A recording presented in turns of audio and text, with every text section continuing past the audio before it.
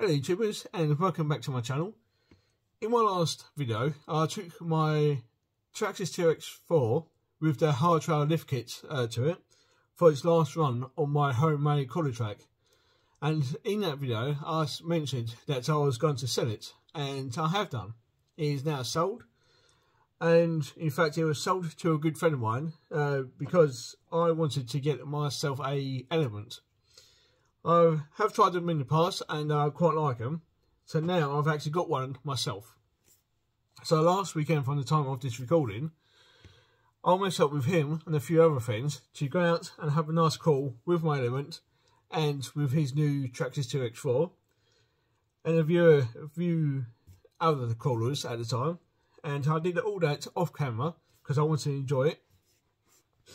Um, so yes, I'll go introduce you to it and see what mods he actually has done. Um, it's got a few mods to it, so it's not completely standard. But when I received it, it was mostly standard.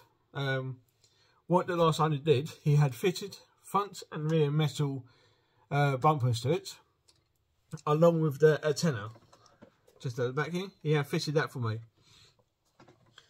One of the friends what came with us um, last weekend, he actually surprised me while buying these metal beadlocks and tyres and had them fitted to my element without me knowing.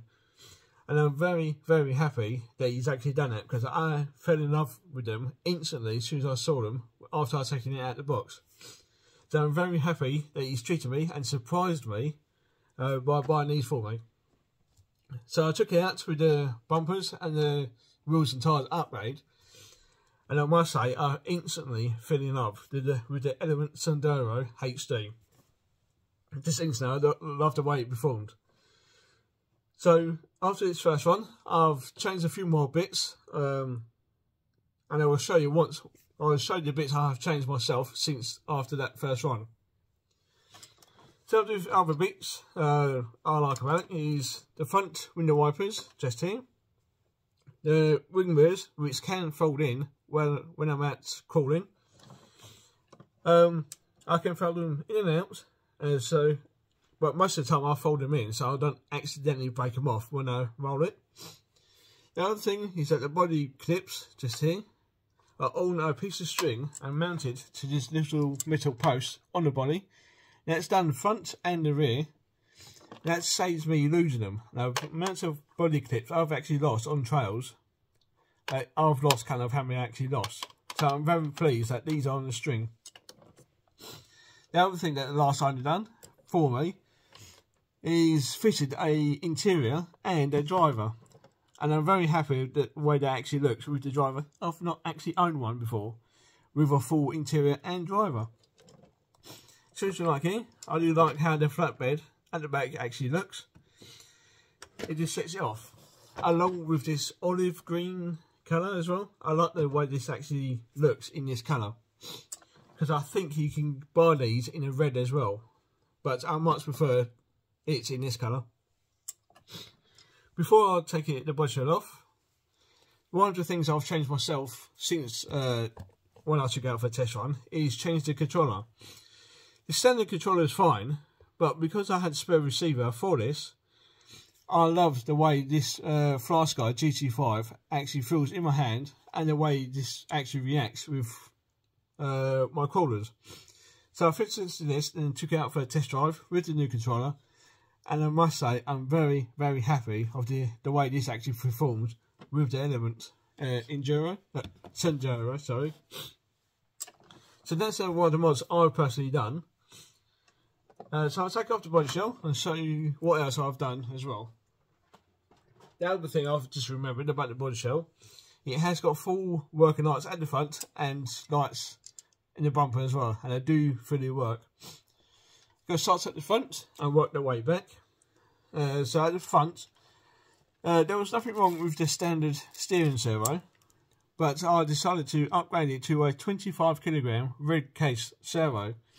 And again, I just had this sitting there in my drawer um, do nothing and I decided to fit it to my new element This to give it a bit more strength when I'm out crawling and I must say I could tell the slight difference between this servo and the standard one and I'm very happy that I fitted it And the person who bought me these wheels, uh, he also asked if I wanted a, a battery mount fitted just up here next to the steering servo. Now this I did know about, and he actually asked me if I wanted one made, and I said yes please. So now I can now fit my short pack uh, 1500 milliamp hour 3S battery pack at the front, just to give you a bit more weight at the front where I want it to be. But otherwise, if you didn't have that, there's a spare slot that you can fit a another servo, like a winch servo, that you can fit up there, right next to the steering servo. So there's actually two slots for a servo to fit there. Fit there. Moving back uh, to the battery tray. This is where the battery normally mounts in the tray just here. But I'll just move it slightly bit more forward just to give it a bit more edge on the weight side of things.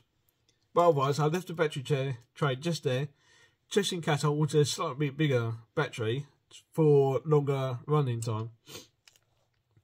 Moving back to the ESC, I've still got the standard uh, ESC just here. And again, there was nothing wrong with this. Um, but I decided to upgrade it to a Hobbywing 1080 just because I've got uh, experience with the 1080 and I'm very happy of the way this actually performs. So I fitted it and again I'm very happy of the way this ESC performs with this new element.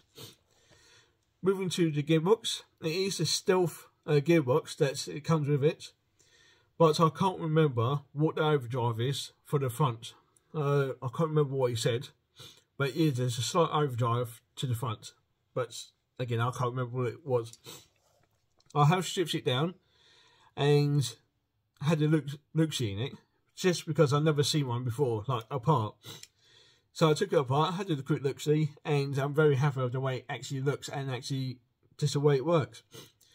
So I re-greased it after just wiping out a little bit of dirt within it and re-greased it and put it back together again. The same with the front and rear axles, or the diffs as I say, just because I want to have a look at the gears, and they're perfectly fine. The last owner did say he's barely used it, so I had all confidence that all the gears were perfectly fine. I just wanted to mainly to look at them and re-grease it. So that's all done. The motor is a 16 turn, 5 slot uh, brushed motor, which is just sits just there and I think it's a 540 can, something like that, 540 or 550. I think I'm leaning more towards a 540 can though. And again, I like the way this performs, so I've got to use this motor uh, for a good while yet before I change it. And when I do change it, I will show you what I've changed it to. But for now, that's the motor I'm using. This side is the receiver box, and it's meant to be a waterproof receiver box and I've fitted the receiver for my GT5 and it sits just in there. And looking at the box now I love the way this actually looks. So yeah a very nice touch. And in the back there's not much to say really because uh, most of it is all at the front where I wanted it to be. So really at the back it's just the standard shocks and a metal uh, rear bumper. And underneath these uh, it's all being the HD, it's got all the missile links, the front and rear, and the panhard bar as well. Which is at the front, just there. And this little link just there. Excuse me. So yes, all the links are metal instead of plastic, which I'm very happy about with the HD model, is that it comes with all the metal links. So yes, I'm very happy with that. The shocks as well, uh, before I forget, the shocks are completely standard. I haven't done the shock oil just yet, so it's still running the standard shock oil that comes with it. But I will change those, the shock oil, to 38 thereabouts. Uh, but for now, I'm happy with the way the shocks actually performs. But at some point in the future, I will be changing those to different sets. Haven't fully decided, but I'm leaning towards uh, Desert Lizards uh, at the moment.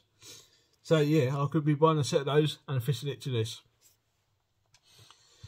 So I've already, uh, so in my next video, I have taken it out to my Homo quarter track and recorded the first run with all the upgraded bits I have done to it. So I will see you in my next video of running of this, and I will end the video just here. So I'll see you next time. Bye for now.